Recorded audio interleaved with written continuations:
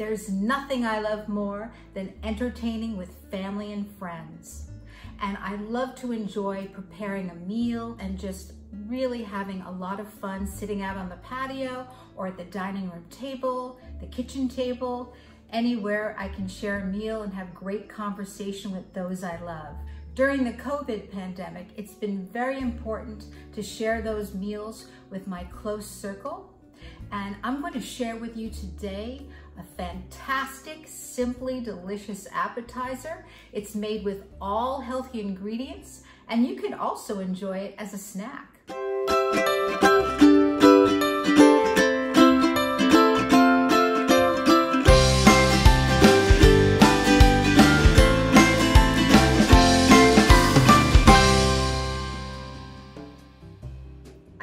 Off with a Pyrex dish, layering these blue corn chips on the bottom. Okay, that looks like a good layer of chips.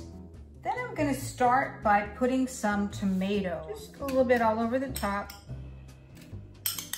I sauteed these yellow, green, and red peppers, some black beans.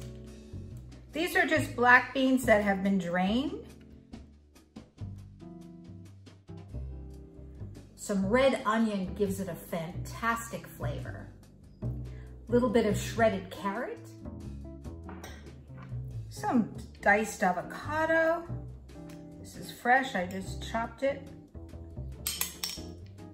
If you wanted, I also have a fantastic chunky guacamole recipe on my website and you could put that on here as well.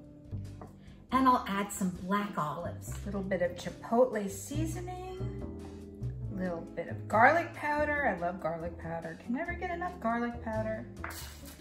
And I'll do another layer.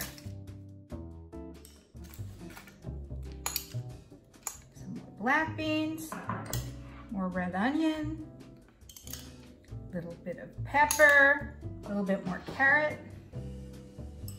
Then I'm gonna put a little bit of salsa all over the top. Now you can either bake this dish at 350, but to tell you the truth, what I love to do is just put it in the microwave for about five or six minutes if I want it toastier. Now I'll add some shredded mozzarella on top. And this is actually vegan mozzarella. It's made with cashews and coconut oil and seasoning. I'm gonna put a few more little olives, freshly chopped avocado. Just take a look at that dish. Doesn't that look yummy?